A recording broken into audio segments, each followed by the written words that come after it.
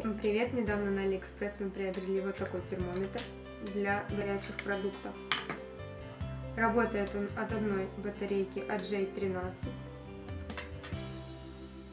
Термометр оснащен четырьмя кнопками.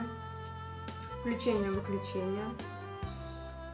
Сейчас он показывает температуру воздуха.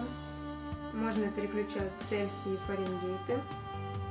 Также можно замораживать показания Смотреть максимальное и минимальное показание.